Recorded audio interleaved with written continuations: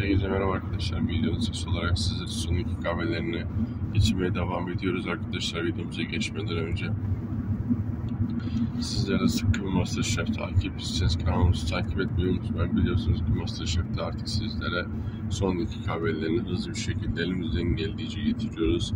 Ve e, biliyoruz ki Masterchef'in yakın zamanda e, final yaparken ki arkadaşlar final haftası yine e, büyük manzaralı bir yerde olacağı ortaya çıktı.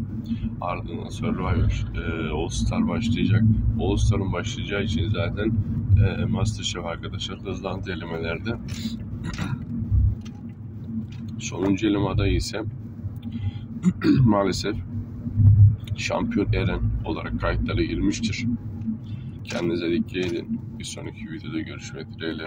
Allah'a emanet olun arkadaşlar. Kalın sağlıcakla.